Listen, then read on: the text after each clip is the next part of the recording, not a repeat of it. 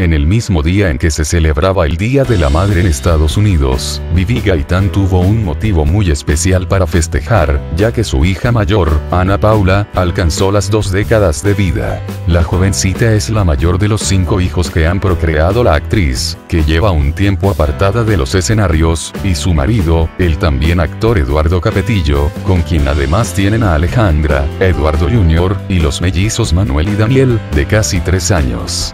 Vivi compartió una foto de su hija en donde se lee el mensaje. Hoy hace 20 años nos iluminaste con tu llegada llena de ternura, mi princesa Ana Pau te amo, muchísimas felicidades, dijo el domingo Gaitán al publicar una bonita foto de su primogénita en Instagram.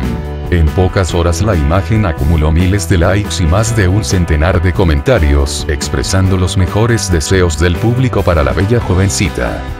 El post demuestra una vez más que, a pesar de su retiro, Gaitán sigue fresca en la memoria de los fans. Aunque su retiro nunca ha sido oficial, y bien tanto ella como su marido han participado en un par de proyectos en estos casi 22 años de matrimonio, la pareja se ha enfocado a su vida en la comunidad de Ocoyoacac, en el municipio del Estado de México.